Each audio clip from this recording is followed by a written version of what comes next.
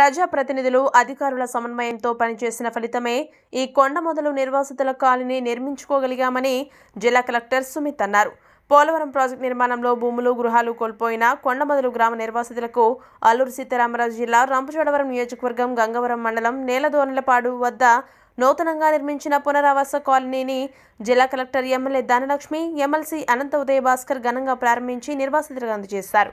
ఈ సందర్భంగా ఏర్పాటు చేసిన సమావేశంలో జిల్లా కలెక్టర్ మాట్లాడుతూ పోలవరం రిజర్వాయర్ నిర్మాణంలో ముంపునకు గురైన కొండమొదలు గ్రామ గిరిజనులకు పూర్తి స్థాయిలో మౌలిక వసతులు కల్పించి గృహాలు నిర్మించుకుని అందుబాటులోకి తీసుకువచ్చేందుకు కృషి చేసిన ప్రజాప్రతినిధులు పలు సంఘాలు కింది స్థాయి అధికారుల నుండి ఉన్నత స్థాయి అధికారుల వరకు సమన్వయంతో పనిచేసి ఈ నిర్వాసిత రూపురేఖను తయారు చేసుకుని ఈనాడు నివాస యోగ్యం తయారు చేసుకున్న ఘనత వీరికే దక్కిందని కొనియాడారు. ఈ సమావేశంలో joint collector Dhanunjaya R and R అధికారి ప్రవీణాదిత్య సబ్ కలెక్టర్ కట్టా సింహాచలం జడ్పీటీసీలు ఎంపీపీలు ఎంపీటీసీలు సర్పంచ్లు పార్టీ నాయకులు తదితరులు పాల్గొన్నారు.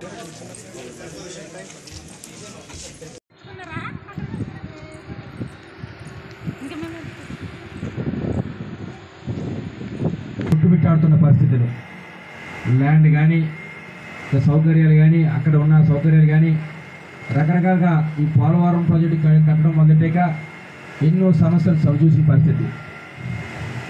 గత ప్రభుత్వాలు పోలవరం ప్రాజెక్టు కట్టడానికి చూశారు తప్ప ఆ ప్రాజెక్టు కింద ములుగుతున్న గ్రామాల్లో ఉన్న ప్రజలకి వాళ్ళ అవసరాలు కానీ దృష్టి పెట్టిన సందర్భాలు లేవనే విషయాన్ని ఖచ్చితంగా చెప్పగలుగుతా ఉన్నా. ఎందుకంటే ప్రాజెక్టు స్టార్ట్ అయ్యి చాలా ఏళ్ళు గడుస్తూ ఉంది.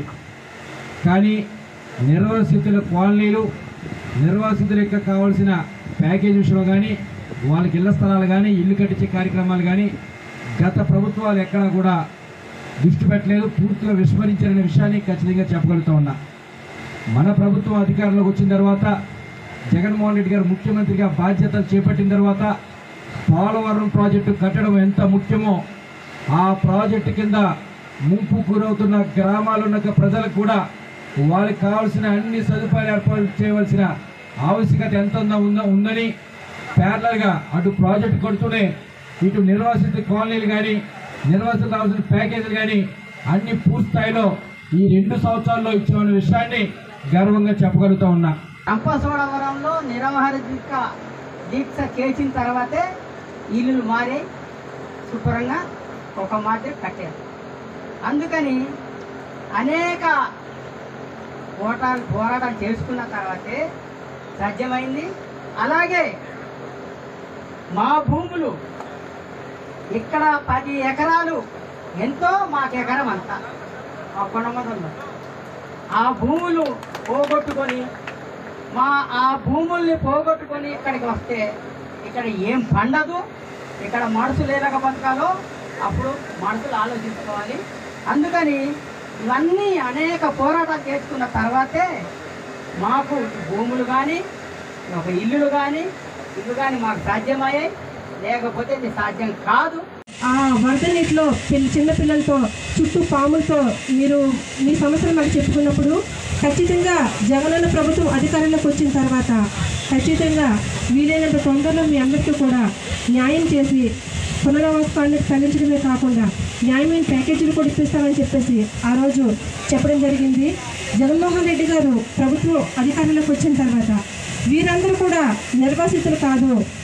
మీరందరూ కూడా పోలవరం కోసం దాని ప్రయోజనాల కోసం మీ మీ చిన్ననాటి జ్ఞాపకాల్ని మీ గ్రామాల్ని వదులుకుంటున్నటువంటి త్యాగమూర్తులు. పాత ఆరణ కాలనీలో కూడా సమస్య ఉన్నాయి. దేవిపట్నం మండలం సంబంధించి కూడా కొన్ని సమస్య ఉన్నాయి.